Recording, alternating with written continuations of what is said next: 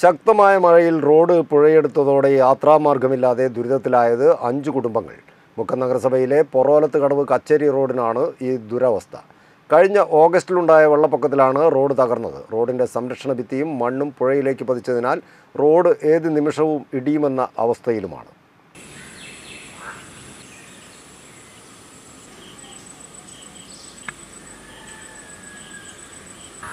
ശക്തമായ മഴയിൽ റോഡ് പുഴയെടുത്തതോടെയാണ് യാത്രാമാർഗമില്ലാതെ അഞ്ച് കുടുംബങ്ങൾ ദുരിതത്തിലായത്.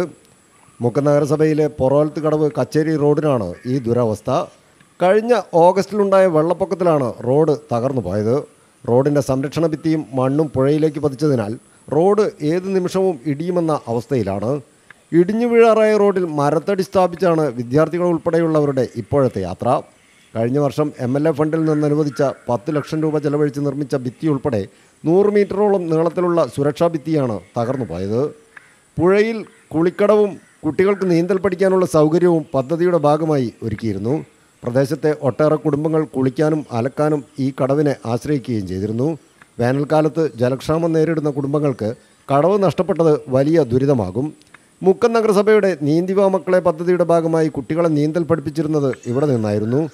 കുളിക്കടവ് പൂർണമായും ഇടിഞ്ഞുപോയതോടെ പദ്ധതി താറുമാറായി. പത്തടിയോളം വീതിയുണ്ടായിരുന്ന റോഡിന്റെ ഭൂരിഭാഗവും പുഴയെടുത്ത നിലയിലാണ്. കാൽനടയ്ക്കുള്ള സ്ഥലം മാത്രമേ ഇപ്പോൾ അവശേഷിക്കുന്നുള്ളൂ. കാർ ഉൾപ്പെടെയുള്ള വലിയ വാഹനങ്ങൾ രാത്രികാലങ്ങളിൽ റോഡരികിലും സമീപവാസികളുടെ വീടുകളിലും മറ്റും നിർത്തിയിടേണ്ട അവസ്ഥയിലാണ് ഉടമകൾ. അസുഖബാധിതരെ ആശുപത്രിയിൽ എത്തിക്കണമെങ്കിൽ ഏറെ ദൂരം എടുത്തുകൊണ്ടുപോകേണ്ട അവസ്ഥയുമുണ്ട്. ഇത് സംബന്ധിച്ച് മുക്കം നഗരസഭ M L A Linto Joseph revenue വകുപ്പ് ജലസേചന വകുപ്പ് തുടങ്ങിയവർക്ക് നാട്ടുകാർ പരാതി നൽകിയിരുന്നു. പരാതിയുടെ അടിസ്ഥാനത്തിൽ ജലസേചന വകുപ്പ് സംഭവ സംഭവസ്ഥലത്തെത്തി പരിശോധന നടത്തുകയും എസ്റ്റിമേറ്റ് തയ്യാറാക്കുകയും ചെയ്തിരുന്നു. എഴുപത് ലക്ഷം രൂപ വേണ്ടിവരുമെന്നാണ് ജലസേചന വകുപ്പ് കണ്ടെത്തിയിരിക്കുന്നത്.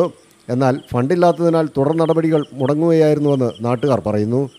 എത്രയും പെട്ടെന്ന് റോഡ് ഗതാഗതയോഗ്യമാക്കാനുള്ള നടപടി അധികൃതർ സ്വീകരിക്കണമെന്നാണ് പ്രദേശവാസികളുടെ ആവശ്യം. അതേസമയം റോഡ് പുഴയെടുത്ത സമയത്ത് തന്നെ ജലസേചന വകുപ്പിനെ ബന്ധപ്പെട്ടിരുന്നുവെന്നും ജലസേചന വകുപ്പ് എസ്റ്റിമേറ്റ് ഇട്ട എഴുപത് ലക്ഷം രൂപ നഗരസഭയ്ക്ക് നൽകാൻ നിർവാഹമില്ലാത്തതിനാൽ ജലസേചന വകുപ്പിന്റെ ഫണ്ട് ഉപയോഗിച്ച് പ്രവൃത്തി നടത്താനുള്ള നടപടി സ്വീകരിച്ചിട്ടുണ്ടെന്നും മുക്കം നഗരസഭാ ചെയർമാൻ പി ടി ബാബുവും പ്രതികരിച്ചു. News bureau Mukkam.